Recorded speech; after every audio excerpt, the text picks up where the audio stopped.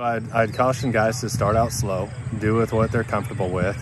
Um, maybe try some species that will winter kill because uh, just it's an easy system to, to apply and use. If you want to do cereal rye, maybe not do 60 pounds an acre, maybe only do 20 pounds an acre.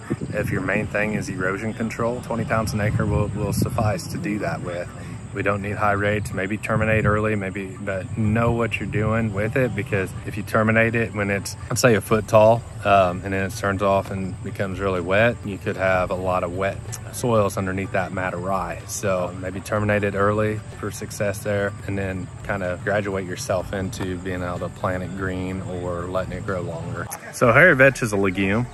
Um, it produces nitrogen in its root system. It stores nitrogen in the above ground biomass. It's basically a, a, very viney plant. The more mature it gets, it'll wrap and up on different plant species. Like if you have cereal rye or something, it'll climb up on it. It can also, it loves to wrap on the machinery or anything else. It can become a very big challenge, but it's a, it's very efficient at producing a tremendous amount of nitrogen if we allow it to grow later in the season.